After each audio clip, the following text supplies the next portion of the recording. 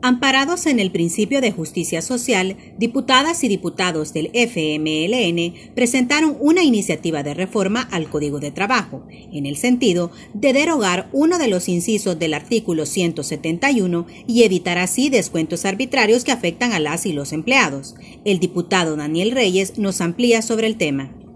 La pieza tiene que ver con lo que establece el artículo 38 de nuestra Constitución, específicamente en el ordinal séptimo en donde le da este, el derecho a un día de descanso remunerado a los trabajadores cada semana. Hemos tenido eh, muchas quejas y nos han eh, contado experiencias muchos trabajadores que eh, en la práctica los patronos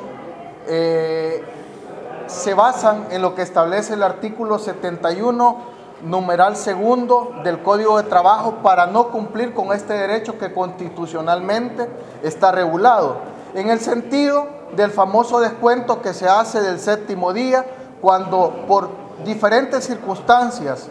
no se puede llegar a trabajar, no puede llegar a, laborar un trabajador un día a la semana. El artículo 171, inciso segundo, establece que este, al no completar la semana laboral se les descuenta precisamente ese séptimo día de trabajo que debe de ser remunerado semanalmente. Lo que pretendemos de esta manera es que deroguemos este inciso segundo del cual se están basando este, muchos empresarios para no, poder, para no cumplir con esta obligación que constitucionalmente tienen. De esta manera vamos a evitar muchos abusos que se dan y recordemos que en la práctica, en nuestra vida cotidiana, surgen muchas circunstancias que de repente evitan que un trabajador pueda llegar este, a laborar y que no dependen necesariamente de la voluntad de ellos. Sabemos que en ocasiones los trabajadores van a sus, sus centros de trabajo y se encuentran que hay un paro de transporte,